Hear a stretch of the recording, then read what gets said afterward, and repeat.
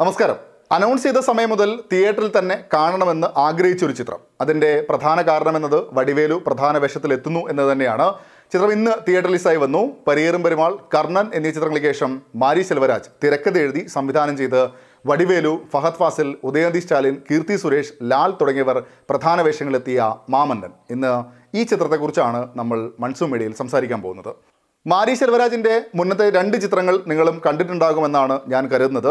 വ്യക്തമായ രാഷ്ട്രീയം സംസാരിക്കുന്ന ഇന്റൻസായ കാഴ്ചകൾ തന്നെയാണ് മുന്നത്തെ രണ്ട് ചിത്രങ്ങളിലും അദ്ദേഹം സമ്മാനിച്ചിട്ടുള്ളതും. ഇവിടെയും അത്തരമൊരു സ്പേസിൽ തന്നെയാണ് കഥ പറയുന്നത്.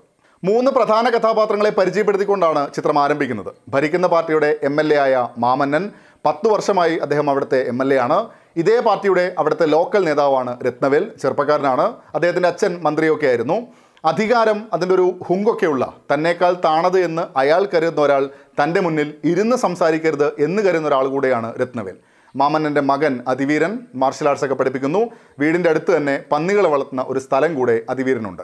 ഈ കഥാപാത്രങ്ങളിലൂടെയുള്ള യാത്രയും അതിനൊപ്പം തന്നെ ആ നാടിന്റെ സാമൂഹ്യ അവസ്ഥയുമൊക്കെ മാരി സെൽവരാജ് കൃത്യമായി ബിൽഡ് ചെയ്യുന്നുണ്ട്.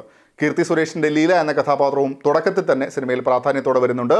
സിനിമയുടെ ബെസ്റ്റ് പാർട്ട് എന്നത് അതിന്റെ ആദ്യ പകുതി തന്നെയാണ്. സിനിമയിലെ ഏറ്റവും പ്രധാനപ്പെട്ട ഒരിടത്തിലേക്ക് കൊണ്ടുവരുന്നത് വരെയാണ് ആദ്യ പകുതി പോകുന്നത്. അത് ഗംഭീരമായി ബിൽഡ് ചെയ്യാൻ മാരി സെൽവരാജിന് സാധിച്ചിട്ടുണ്ട്. ഇന്റൻസ് ആയ കാഴ്ചകളാണ് എന്നതിൽ ഒരു തർക്കവുമില്ല.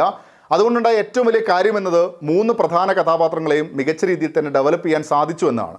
വൈകാരിക നിമിഷങ്ങളൊക്കെ കാഴ്ചക്കാരനും അതിന്റെ ഫീൽ ലഭിക്കുന്ന വിധത്തിൽ ആ കഥാപാത്രങ്ങൾക്കൊപ്പം യാത്ര ചെയ്യുന്നതിന് തന്നെ സഹായിക്കുന്നുണ്ട്.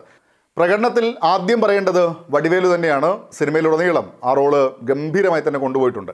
ഫ്ലാഷ് ബാക്ക് സീൻ കാണിക്കുന്നതിൽ അയാൾ അനുഭവിക്കുന്ന ഒരു ധർമ്മസങ്കടമുണ്ട്. ഒരു രക്ഷയില്ലാത്തൊരു സീനായിരുന്നു എടുത്തു പറയേണ്ടുന്ന കുറേ സീനുകൾ തന്നെ സിനിമയിലുണ്ട്. പക്ഷേ പറഞ്ഞാൽ സ്പോയിലർ ആകും എന്നതിനാൽ ഞാൻ അതിന് മുതിരുന്നില്ല.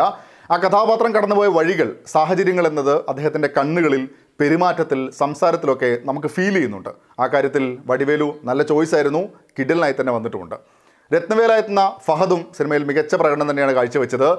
ഫഹദിന് നന്നായി ചെയ്യാനൊരു സ്പേസ് ഉണ്ടായിരുന്നു. അത് നന്നായി ഉപയോഗപ്പെടുത്തിയിട്ടുമുണ്ട്. ഈ ദേഷ്യം വന്ന ശേഷം രത്നവേലിന്റെ മറ്റൊരു ഫേസ് ഒക്കെ ഉണ്ട്. അത് ഗംഭീരമായി തന്നെ സ്ക്രീനിൽ കാണാം. ഉദയനിധി സ്റ്റാലിനും തന്റെ റോൾ നീറ്റായി തന്നെ ചെയ്തിട്ടുണ്ട്. അദ്ദേഹത്തിന്റെ മികച്ച കഥാപാത്രങ്ങളിലേക്ക് ചേർത്ത് വയ്ക്കാൻ പറ്റിയ ഒന്ന് തന്നെയാണ് അതിവീരൻ. കീർത്തി സുരേഷ് തുടക്കത്തിൽ പ്രാധാന്യത്തോടെ വരുന്നുണ്ടെങ്കിലും പിന്നീട് ജസ്റ്റ് ഉണ്ട് എന്നൊരു ഫീൽ മാത്രമേ ഉള്ളൂ. ലീല എന്ന കഥാപാത്രത്തെ കീർത്തി നീറ്റായി തന്നെ ചെയ്തിട്ടുണ്ട്. ലാലും മറ്റൊരു പ്രധാന വേഷത്തിലെത്തുന്നുണ്ട്. ടെക്നിക്കൽ സൈഡിൽ എ ആർ റഹ്മാന്റെ സംഗീതം തേനി ഈശ്വറിന്റെ ഛായാഗ്രഹണം. രണ്ടും സിനിമയുടെ നെടുന്തൂണായി തന്നെ നിൽക്കുന്നുണ്ട്. സീനുകൾ വരുന്ന സമയത്ത് അതിലൊരു ഫീൽ ഇന്റൻസ് ആക്കുന്നതിൽ എ ആർ റഹ്മാന്റെ പശ്ചാത്തല സംഗീതം എടുത്തു പറയേണ്ടുന്ന ഒരു കാര്യം തന്നെയാണ്. ഫ്ലാഷ് ബാക്ക് സീനിൽ കുളത്തിൽ വെച്ച് നടക്കുന്ന ഒരു സംഭവം കാണിക്കുന്നുണ്ട്. അതിന്റെ ഒരു എഫക്റ്റ് എന്നത് എത്രത്തോളം കാഴ്ചക്കാരന് കൊടുക്കാൻ പറ്റുമോ അത് സാധിച്ചിട്ടുണ്ട് എന്നാണ് തോന്നുന്നത്. വിഷ്വലി തേനീശ്വറിന്റെ ഒരു ഗംഭീര വർക്ക് തന്നെയാണ് മാമന്നൻ. സെൽവാർക്കയുടെ എഡിറ്റിങ്ങും സിനിമയുടെ പേസ് നല്ല രീതിയിൽ കൊണ്ടുപോകുന്നതിൽ പ്രധാന പങ്ക് വഹിച്ചിട്ടുണ്ട്. പ്രത്യേകിച്ച് ആദ്യ പകുതിയിൽ.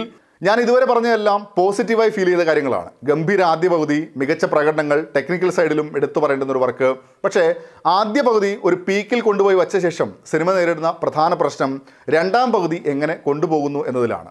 നല്ല മൊമെൻസ് ഒക്കെ ഉണ്ടെങ്കിലും ഫ്ലാറ്റ് ആയി പോകുന്ന അവസ്ഥയായിരുന്നു. നമ്മൾ മുന്നേ കണ്ടിട്ടുള്ള രീതിയിൽ പോകുന്ന പ്രിഡിക്റ്റബിൾ ആയ നിമിഷങ്ങളുള്ള സാഹചര്യം കൂടിയാണെന്ന് പറയാം.